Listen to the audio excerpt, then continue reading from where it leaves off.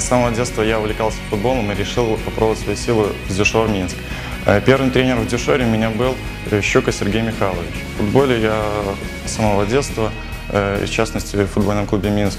Э, Он стал для меня вторым домом, э, в который я прихожу почти каждый день, э, расту как футболист и добиваюсь определенных успехов.